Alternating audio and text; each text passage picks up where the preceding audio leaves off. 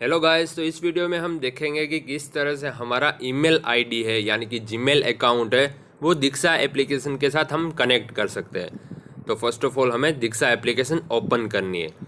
And main फ़ायदा क्या है कि कभी कभार ऐसा होगा कि हमारा सिम कार्ड है वो नेटवर्क प्रॉब्लम में या फिर वैलिडिटी ख़त्म होने के बाद हम कोई ओटीपी रिसीव नहीं कर पाएँगे।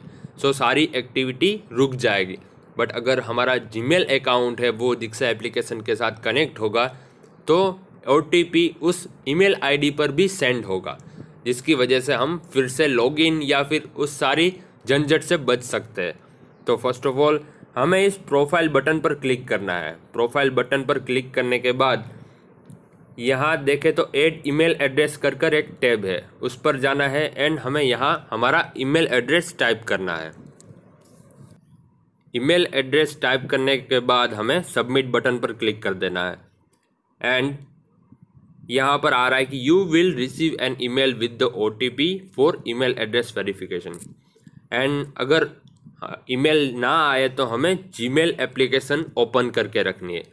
एंड जैसे कि मैंने थोड़ी देर पहले ही ट्राई किया था कि ओ टी पी सक्सेसफुली आ गया नाउ मैंने यस तो ये सेकेंड बार भी ईमेल आ चुका है।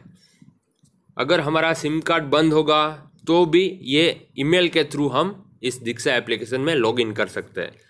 सो so, मैंने देखा कि ये मेरा ओटीपी है उसको मैंने कॉपी कर लिया एंड देन उस ओटीपी को मैंने इस दीक्षा एप्लीकेशन में पेस्ट कर दिया फिर सबमिट कर दिया जिससे ये ईमेल आईडी है वो दीक्षा एप्लीकेशन के साथ कनेक्ट हो चुका है। हम यहाँ पर देख सकते हैं।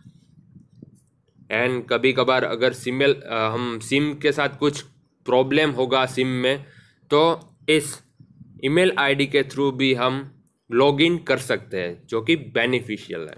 सो ईमेल आईडी या फिर सेकंड मोबाइल नंबर ज़रूर हमें कनेक्ट करना चाहिए इस दीक्षा एप्लीकेशन के साथ। And all the best